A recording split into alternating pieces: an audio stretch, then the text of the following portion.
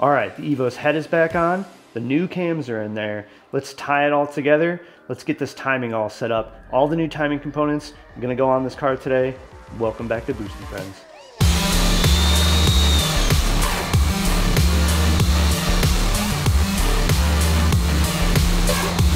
It's October, so it's cold now. So I gotta wear this hoodie. Not my favorite. All right, last week we finished getting the head on the car. That was a big step. Got the new cams in there. And today we gotta put the timing all back together. So because we're going to the new ECU, we're going to a new crank trigger, which is a Kiggly 12 tooth crank trigger. It's actually a 12 minus one, so there's one tooth missing. We'll get a little bit more into that later. Uh, also have to modify the cam trigger. Also something we'll go over once we get to that step. Before we dive right in, still chasing a thousand subscribers. Hit that subscribe button. Help me out. It's fun. Let's do it together. All right, first up, last week, forgot to order camshaft seals. So I got these little guys. They are uh, not the camshaft seals that I ordered. Thanks, USPS. These are correct. They're just not OEM Mitsubishi. We'll make them work, and if they don't, I'll eventually have the Mitsubishi ones. So we're gonna get those put in there real quick, and then we're gonna move on to some of the timing stuff because those camshaft seals do go behind the cam gears. They have to go in first. So this cam seal goes right in here around the camshaft and seals against the head. It's a pretty tight fit, so the easiest way usually is to take a socket that is about the same size, in this case a one and a half inch, and then you can use that to evenly get it into the hole. You will want to use some lubrication on both the inside and the outside of this thing. I'm just using some engine oil.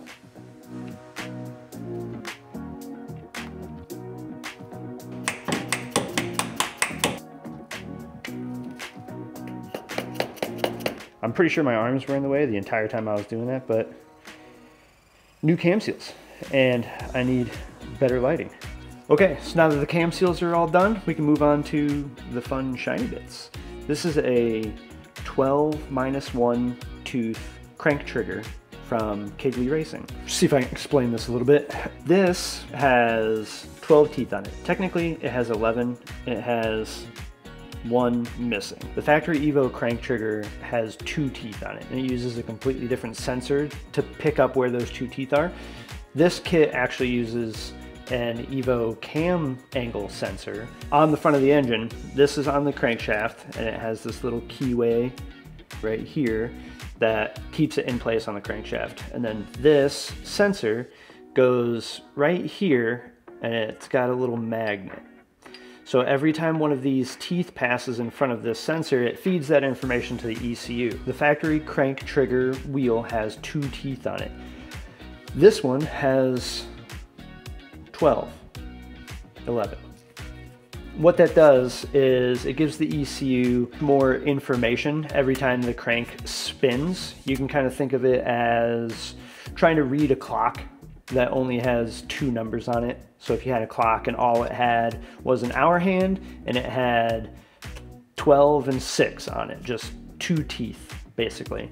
You would be able to kind of tell what time it is based on where that hour hand is, but if it had 12 numbers on it, you'd be able to be much more accurate. That's basically what this is doing, is it's giving the ECU a much more accurate representation of where the crank is in its rotation so that it knows when to do anything with the engine that is timing based. When to fire fuel injectors, when to fire the spark plug.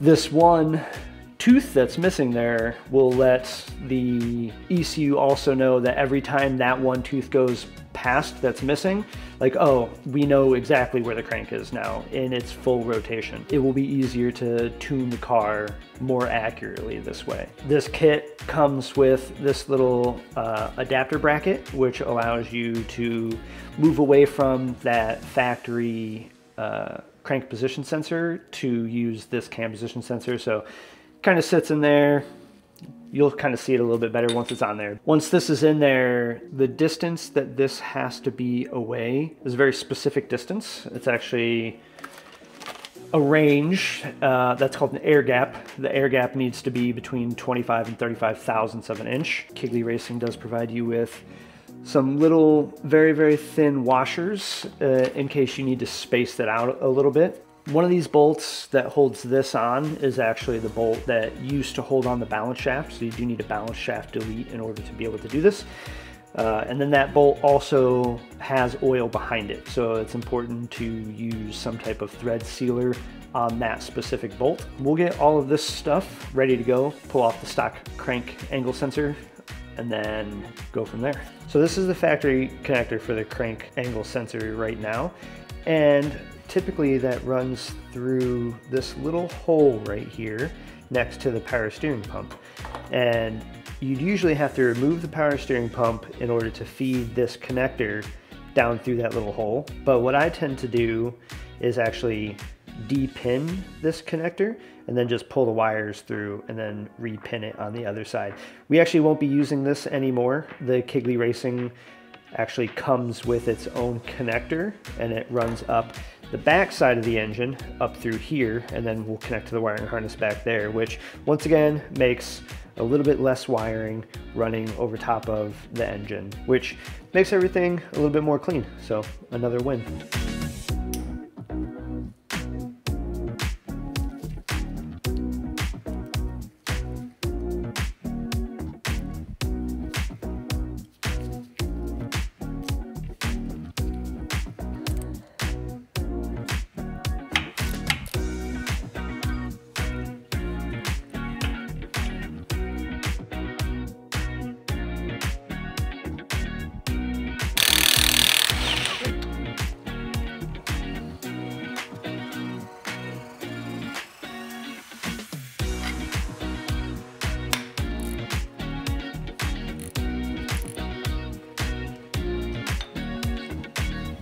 This gold part here is the Evos factory crank angle sensor and it's got these two wings on it and those are the only two points on here that it uses for measurement. So going from two teeth to the new 12 teeth. This is that balance shaft pulley that I was talking about earlier. And then this is that bolt hole that actually has oil behind it. So that's the one that you'll need to use thread sealer on.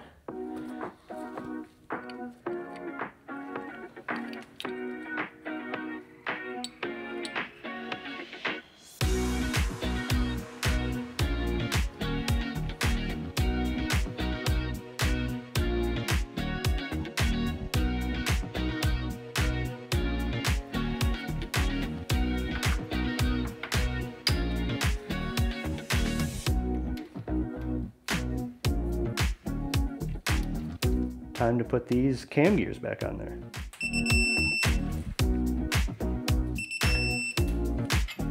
Okay, so all of the timing marks that need to be lined up is there's a timing mark on the valve cover right here, and there's a mark on the cam gear right here.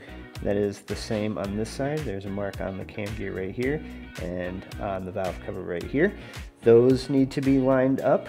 And then underneath, there is a mark on the new crank trigger right there that lines up with a little mark right there on the oil pump cover.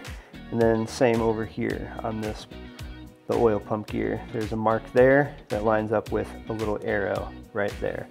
All those things need to be lined up as you're putting the timing belt on.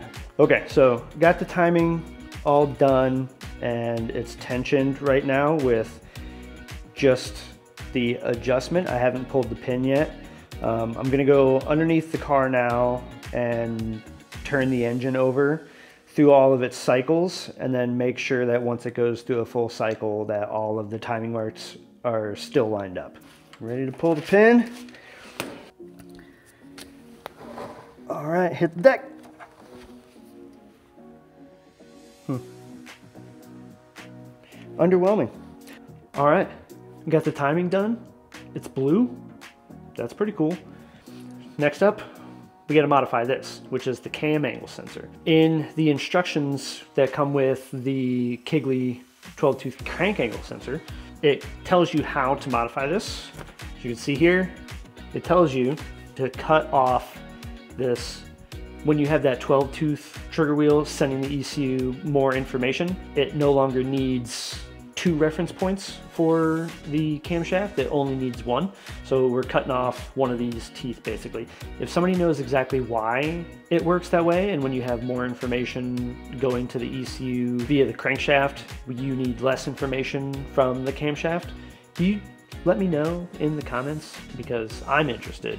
I don't exactly know how it works, but I know that I have to do it. And then we'll figure out the ECU tuning part later. So Right now, I'm gonna go ahead and cut this off there and then get this installed.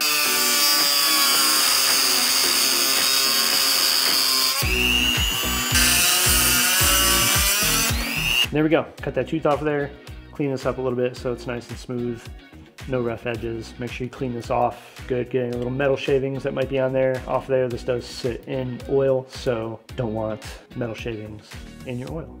It's a good motto, good way to live your life. No metal shavings in your oil.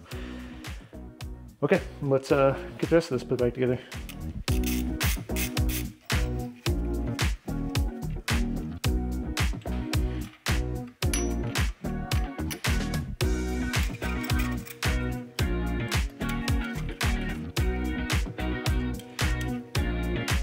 As you can see here, the valve cover is actually not back on the car yet. And that's because we're gonna be doing a lot of work to that thing. I think we're gonna wrap up today's video right there, but next week, we're gonna be doing a bunch of work to that valve cover, and then we're gonna start adding some of the odds and ends of this build um, and start wrapping stuff up and really start getting this thing back together. And then I'm gonna take my first dive into standalone ECUs. So never done anything like that before. Still got the whole harness to them. There's still a lot more going on with this build. So stick around, subscribe. It helps me out a ton. We just hit 500. On our way to a 1,000. Do it.